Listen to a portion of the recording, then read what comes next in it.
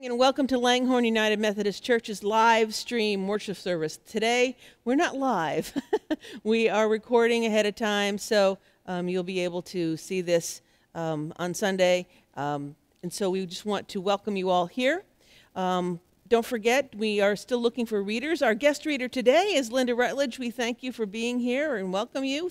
Um, and we're also looking for the musicians and singers. And if you have an instrument you like to play or sing, contact us and we'll make sure that you, uh, you uh, get set up to come in and do that. You can record at home, record here, do it live. You know, we'll, we, will, we will accommodate you as best we can. Um, we also would love you and your family to say hello to everybody. Um, send Mike Kephart a clip a video clip with your greeting around 30 seconds. No, definitely not more than a minute. Um, just to say, hey, everybody, and what you've been doing, and, and how much you miss folks, and looking forward to seeing them, etc.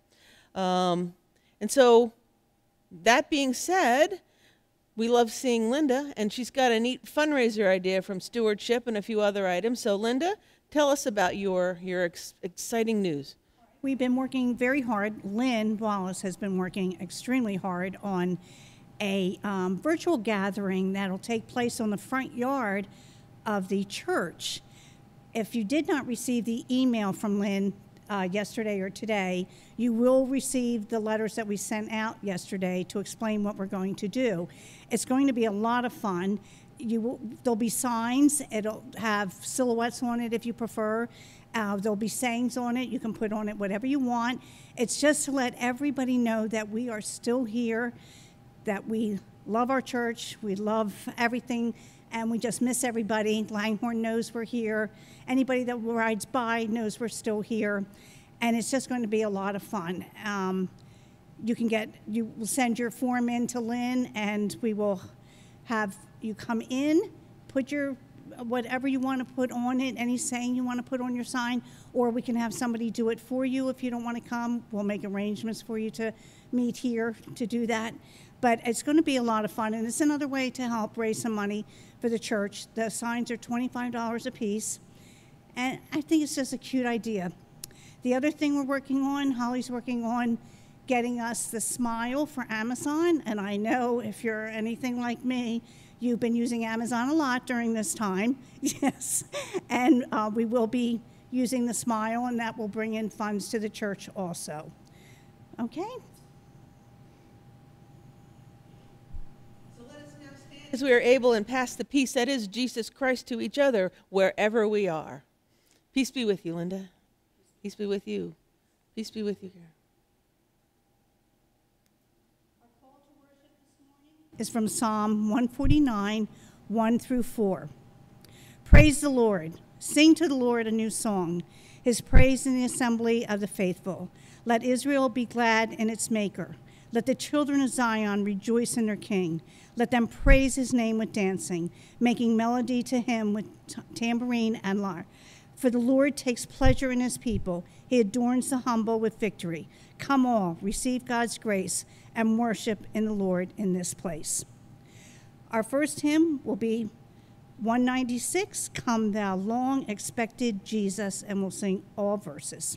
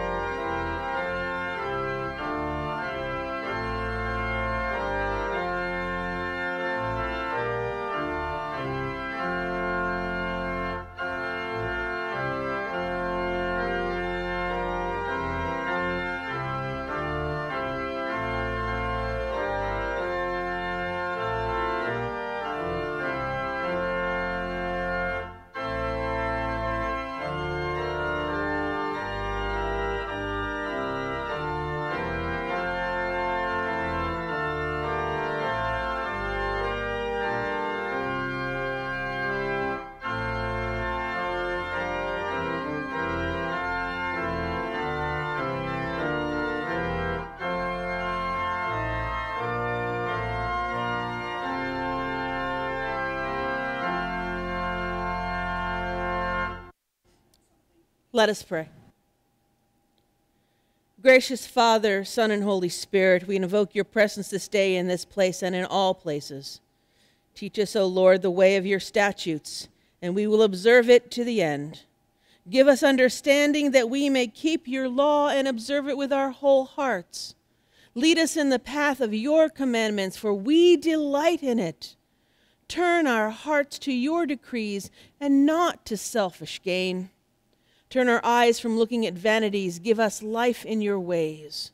Confirm to your servants your promise, which is for those who fear you. Turn away the disgrace that we dread, for your ordinances are good. We have longed for your precepts. In your righteousness, give us life. We ask all this to make us better disciples of your Son, the Christ, to make us better hands and feet to do your work in this world, and to grow in grace and in love. We pray all this in the name of the Father, Son, and Holy Spirit. Amen. Teacher and Father God, your scriptures are meant for us to know you better, to teach us the lessons for life, and to use when looking to make those decisions that will make a difference to you, to your children, and to all creation. Bless the reading and the hearing of your word today, O Lord. Bless all those who hear it with ears to hear, hearts to listen, and spirits to act on your behalf in the world. In Jesus' name we pray. Amen. Our epistle lesson comes today from Romans 13, chap- Romans chapter 13, verses 8 through 14. Hear now these words. Owe no one anything except to love one another for the one who loves another has fulfilled the law. The commandments you shall not commit adultery, you shall not commit murder, you shall not steal, you shall not covet, and any other commandment are summed up in this word love your neighbor as yourself. Love does no wrong to a neighbor. Therefore, love is the fulfilling of the law. Besides this, you know what time it is, how it is now the moment for you to wake from sleep. For salvation is nearer to us now than when we became believers. The night is far gone, the day is near. Let us then lay aside the works of darkness and put on the armor of light. Let us live honorably as in the day, not in reveling in reveling and drunkenness, not in debauchery and licentiousness, not in quarreling and jealousy. Instead, put on the Lord Jesus Christ and make no provision for the flesh to gratify to, gratif- to gratify its desires. Here ends the reading of the New Testament lesson. Our gospel lesson today comes from Matthew chapter 18, verses 15 through 20. Hear now these words If another member of the church sins against you or the church, you go and point out the fault when the two of you are alone. If the member listens to you, you have regained that one. But if you are not listened to, take one or two others along with you so that every word may be confirmed by the evidence of the two or three witnesses. If the member refuses to listen to them, tell it to the church, and if other the, the offender refuses to listen to even to the church, let such a one be to you as a Gentile or a tax collector. Truly, I tell you, whatever you bind on earth will be bound in heaven, and whatever you loose on earth will be loosed in heaven. Again, I truly tell you, if two of you agree on earth about anything you ask, it will be done for you by my Father in heaven. For where two or three are gathered in my name, I am there among them. Here ends the reading of the gospel lesson. The word of God for the people of God. Thanks be to God. Well, laws, order, rules, regulations, policies, procedures, commandments, directives, instructions, etc. All those words. What are the first feelings or thoughts that, that come into your mind when you hear these words? Now, for many, the thoughts can be you know, described as negative, reflecting perhaps a, a dislike or, or a, an uncomfortable feeling of being constrained or even bogged down with what you might feel are annoying or unnecessary rules that have to be followed. Mm. For others, such things are a comfort in the knowledge of the efforts that are made to prevent chaos, harm, hurt, suffering. We often wonder why, though, certain rules or policies even exist. And I can say from experience that many come into our lives because something negative happened somewhere because someone made a decision or choice of some sort that was bad or without thought of consequence or worse, without conscience. Take, for example, a very simple rule very minor rule in the grand scheme of things, even here in church. It's a simple rule in residential and day camping for kids the socks and shoes rule. Now, keep in mind the bulk of camp attention is generally put on the summer camp program, whether it's day camp or residential, or maybe a combination of both. Summer, by its nature, we all know, is very hot, and most folks prefer switching over to lighter clothing, and this includes shoes and socks if if socks and shoes are even worn at all. A lot of people opt for sandals and flip flops starting in, in late spring and ending sometime in early fall. And many would like to carry on that preference when they're attending camp and camp programs.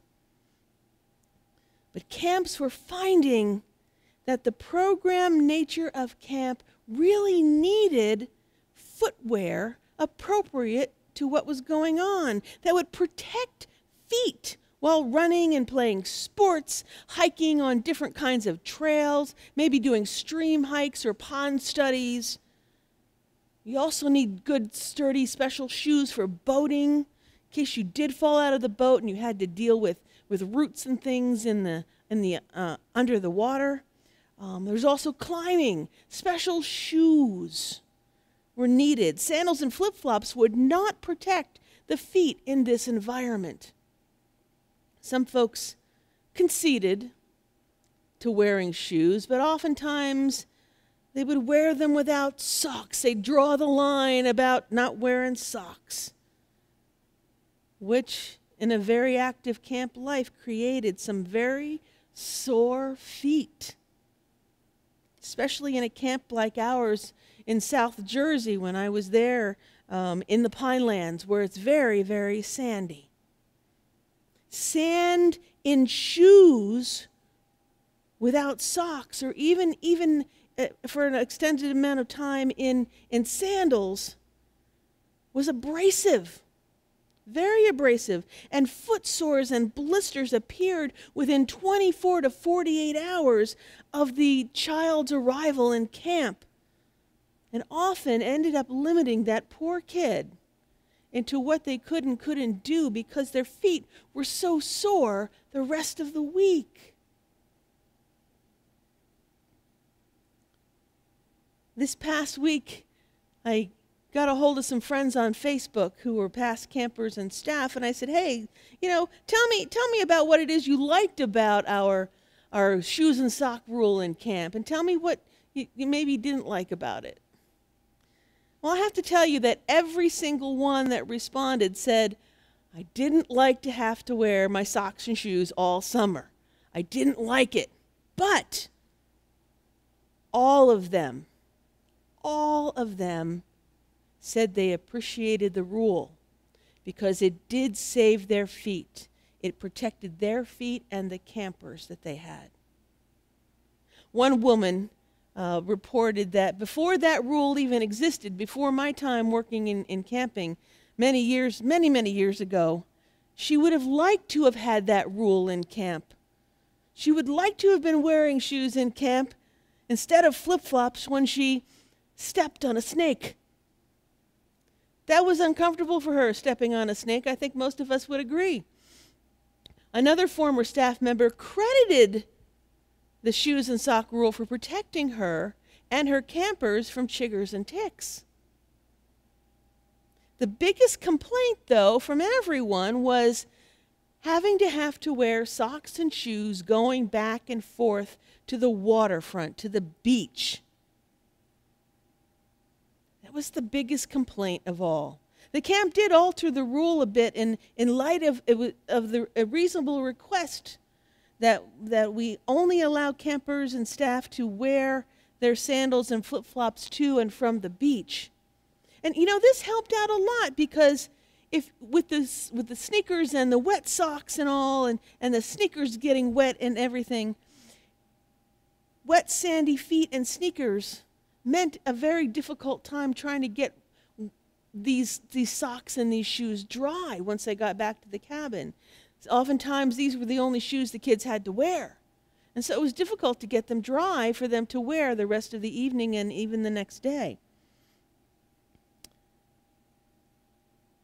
So it was really difficult to clean and dry them. And the second thing was, with all that sand and in the socks and in the shoes, it meant for a very messy cabin, more cleaning out of the cabins.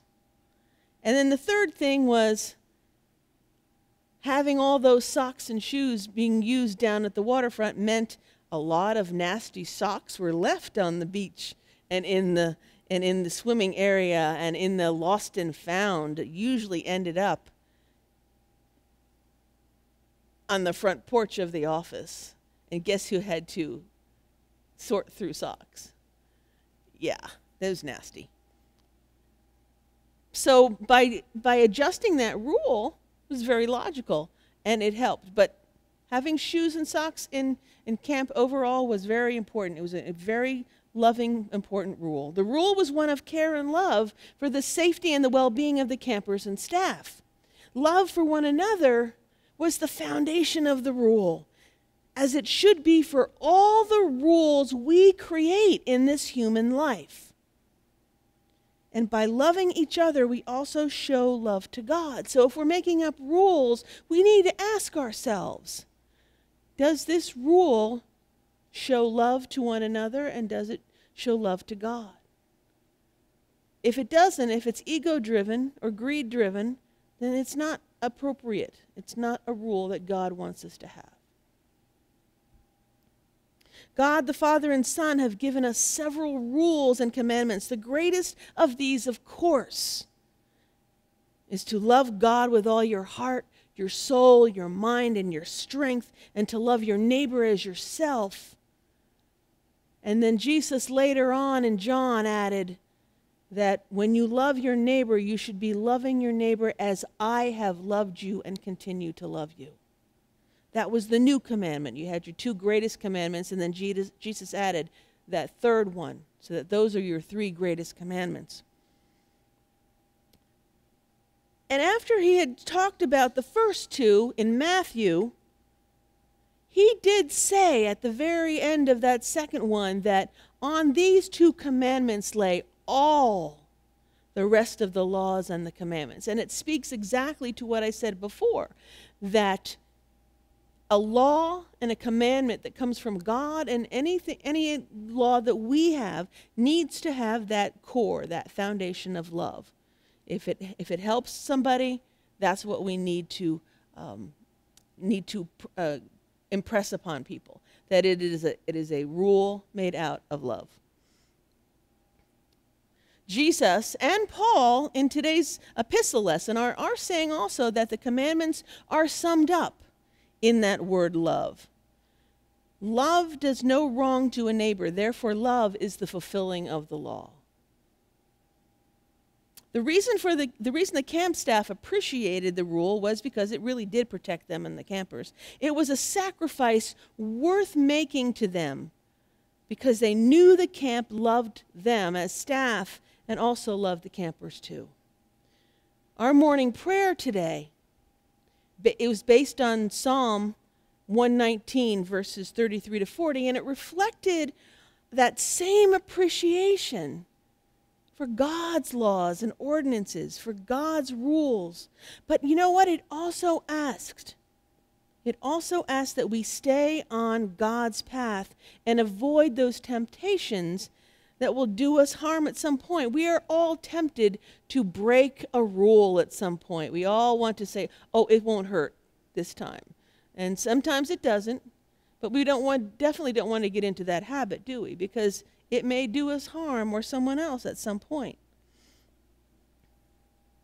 And by disregarding the law, it's not respecting the entity or the people that created the law in the name of love. As disciples, we all need a discipline in our lives that incorporates a routine of good behaviors and keeps us connected with God and each other in love. Policies and procedures we design should guide us and be meant to reflect our love for God and each other in this world. They should be based on God, on those God already has given us, written in Scripture. That's why our United Methodist book of policies and procedures is called the Book of Discipline. And all that is contained therein is scripturally based. And it's meant to take care, to take care of this body of believers we call United Methodists.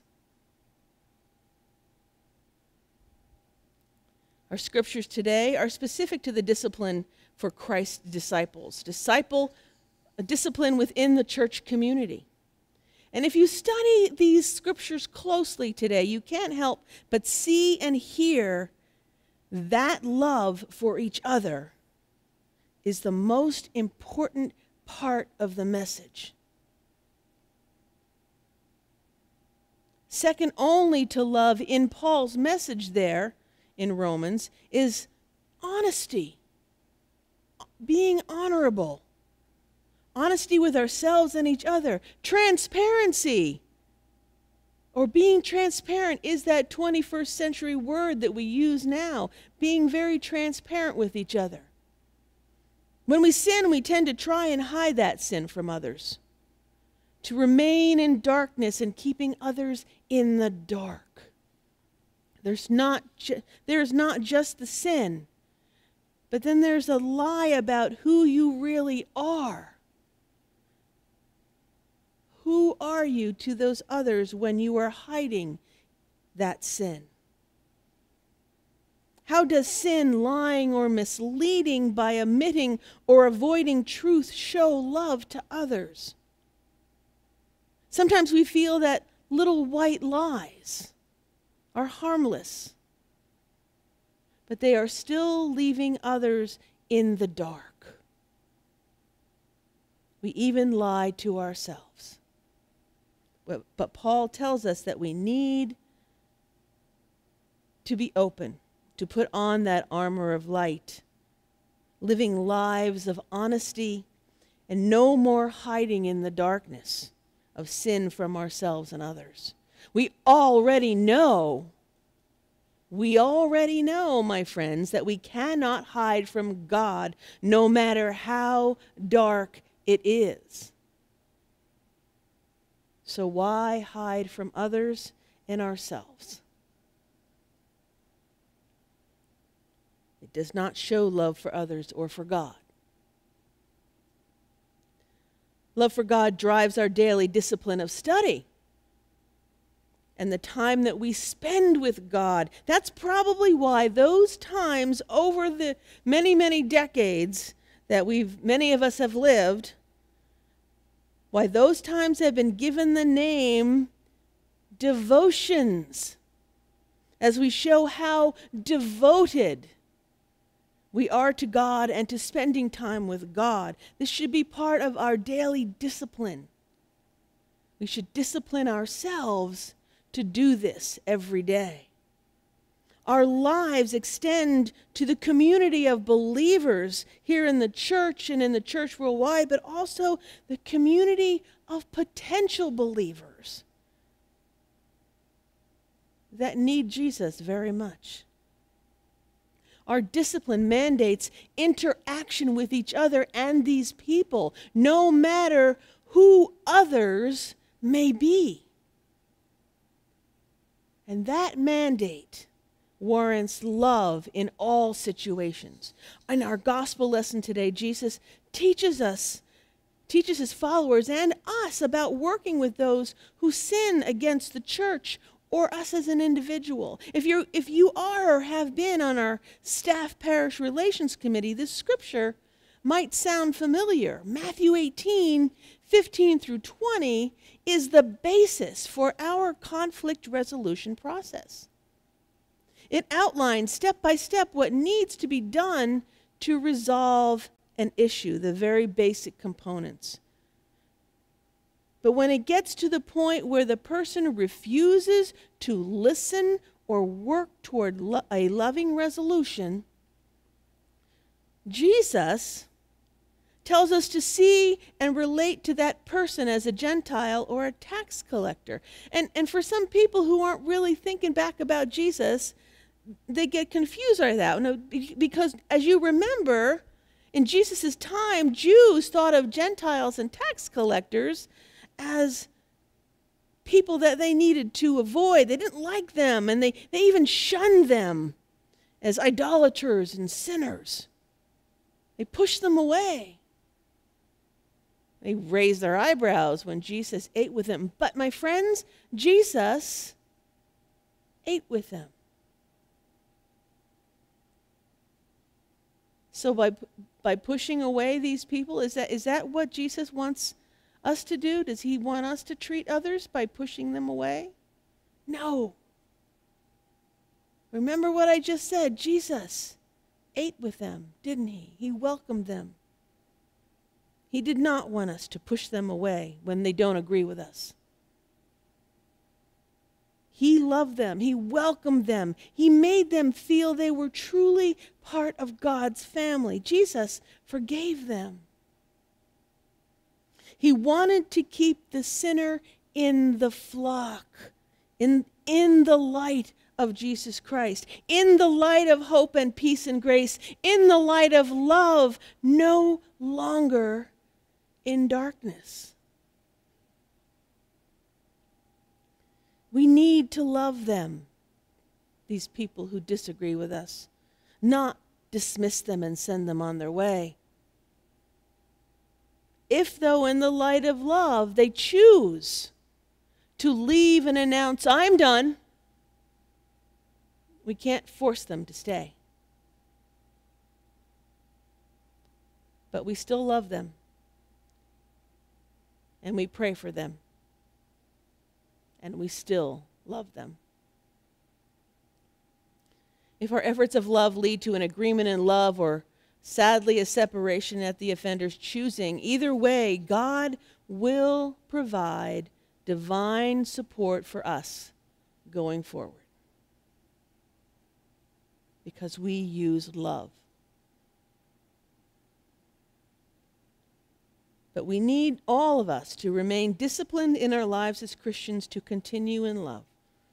We need to follow the mandates given to us by God through the Father and the Son and avoid the temptations to put these rules and commandments aside openly or even in secret. We must avoid those temptations. These rules and mandates God has given us are good, they're necessary. They're love. We must remain in the light of truth and honesty and love with ourselves and each other. My friends, God's ordinances and commandments are given to us because God loves us and God wants us to love each other. Let us all live by God's law and make love the foundation for all that we say, all that we create, all that we do for all of our lives. In Jesus' holy name. Let us pray. God of justice, mercy, love, and peace, we come to you this day on behalf of our families, friends, peoples, people of our local church and your church and your world church, on behalf of all creation and on behalf of those who do not know you, Lord.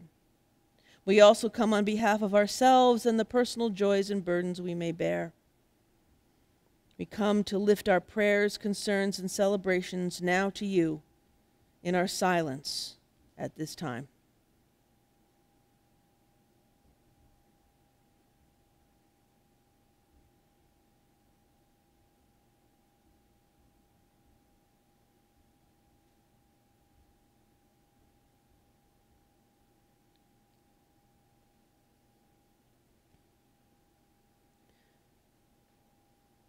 Great healing and merciful God, we are your people. Let your presence be known to all in need of your love and mercy. Continue to bring relief to all those who are dealing with the aftermath of weather, fire, war, and riot destruction. We pray for Christ's comfort and peace to be poured out over and upon them at this time and going forward on the difficult journey they have ahead. We as the world are in need of much healing for the wounds and suffering that result from illness and injuries of mind, body, and spirit, whether acquired by chance or through accidental or intentional acts of others or ourselves. We need to be reminded of your love and your covenants of grace. For by accepting your love and loving others, your healing powers are at work in us and through us but action is always needed by us to be and remain faithful and loving. As Paul says, we are to owe no one anything except to love one another. For the one who loves another fulfills the law. Love your neighbor as yourself.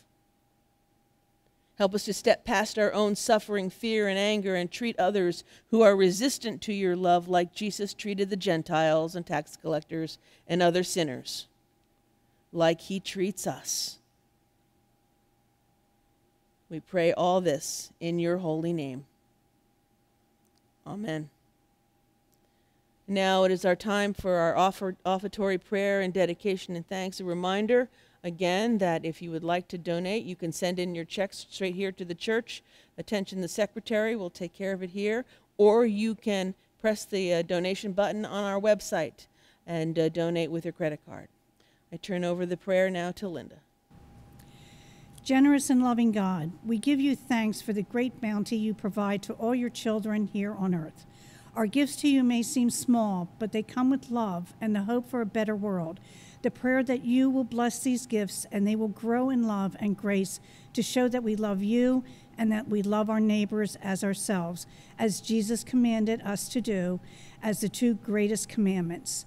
The same Jesus who taught us to pray, saying, Our Father, who art in heaven, hallowed be thy name. Thy kingdom come, thy will be done, on earth as it is in heaven. Give us this day our daily bread and forgive us our trespasses, as we forgive those who trespass against us. And lead us not into temptation, but deliver us from evil. For thine is the kingdom, and the power, and the glory forever. Amen. Thank you, Linda. Receive now this benediction. May the God of hope fill you with all love, faith, joy and peace in believing and in your life as a Christian, so that by sharing love in all you do, you may abound in hope for others and yourself by the power of the Holy Spirit. Amen. Our closing hymn tonight is Jesus, Lord, we look to thee, number 562, if you have a hymnal, verses 1, 3, and 4.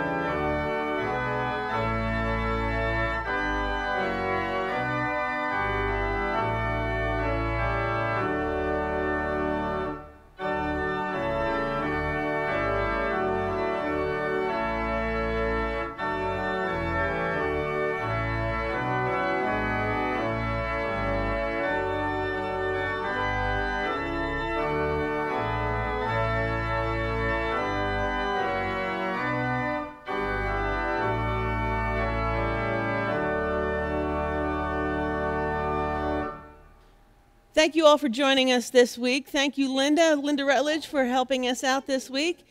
Yeah, loved having you here. Um, again, if you like to, to do some reading and helping out, just give us a call. We'll, we'll put you on the list. We're putting together um, a whole schedule. So we're excited about getting that done and incorporating more voices in our worship service. So, oh, gift cards. Yes, we will we be selling them again this year. Hopefully, in October, we'll have a list and the friendly voice, which Mm-hmm. Holly has been doing a fabulous job with, and we'll have a list again. And we also still are doing the shared meals, so we still also need meatloafs or monetary donations for Okay, very well. good. All right, so that wraps it up for this week, folks. We will see you next week. Next week, I will be doing if if I get all the equipment in, we'll we'll have a a, a special little thing happening that we haven't seen for a long time. So if all works out, we'll get that done. I don't want to you know whet your appetite and then go, oh, it didn't happen. But just just we'll we'll get it going here, okay? So take care. Have a great week, and we'll see you next week.